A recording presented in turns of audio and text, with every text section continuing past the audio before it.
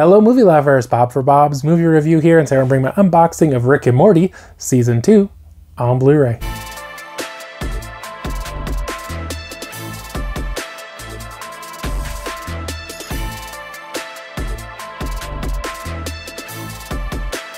This one is available now. Rick and Morty Season 2 does include Blu ray and digital.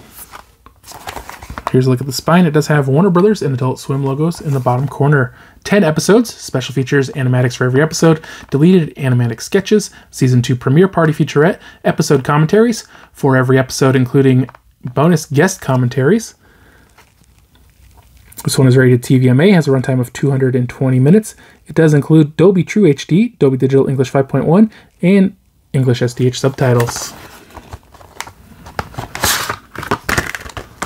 Here is the interior art. If you have seen this one, love your thoughts down in the comment section below.